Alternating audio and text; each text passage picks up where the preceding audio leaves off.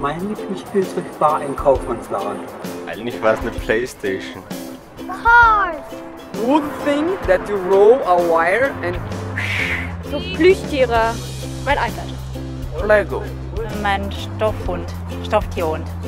Eine afrikanische Puppe, die war so groß. Die habe ich geliebt über alles.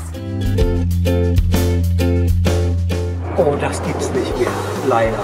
Ist alles nicht mehr vorhanden. My mother threw it away. Zu Hause am Dachboden oder im Keller. On my bed.